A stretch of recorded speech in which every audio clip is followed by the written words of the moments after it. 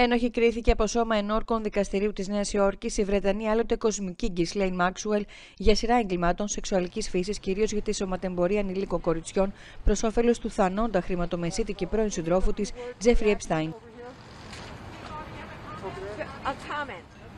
Πιστεύουμε ακράδαντα στην αθωότητα της Γκισλέιν. Προφανώς είμαστε πολύ απογοητευμένοι με την τιμιγορία. Έχουμε ήδη ξεκινήσει να εργαζόμαστε για την έφεση και είμαστε βέβαιοι ότι θα δικαιωθεί. Μετά από μια δίκη που διήρκησε ένα μήνα, η Maxwell θα αντιμετωπίσει ποινές που κυμαίνονται από 5 έως 40 χρόνια κάθερξης για κάθε μία από τις 5 κατηγορίες για τις οποίες κρίθηκε ένοχη. Αυτή είναι μια νίκη για όλα τα θύματα της δεσποινίδας Μάξουελ και του Επστάιν.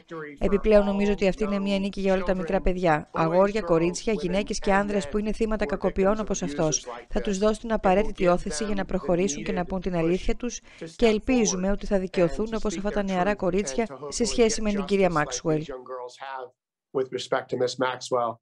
Έπειτα από 40 ώρες διαβουλεύσεων κατά τη διάρκεια 5 ημερών, το Σώμα Ενόρκων έκρινε ομόφωνα ένοχη την Κισλέιν Μάξουελ για ένα από τα χειρότερα εγκλήματα που μπορεί να φανταστεί κανείς, τη διευκόλυνση της σεξουαλικής κακοποίησης παιδιών και τη συμμετοχή σε αυτή, ανέφερε σε ανακοίνωση που έδωσε στη δημοσιότητα ο Ομοσπονδιακός Εισαγγελέας του Μανχάταν.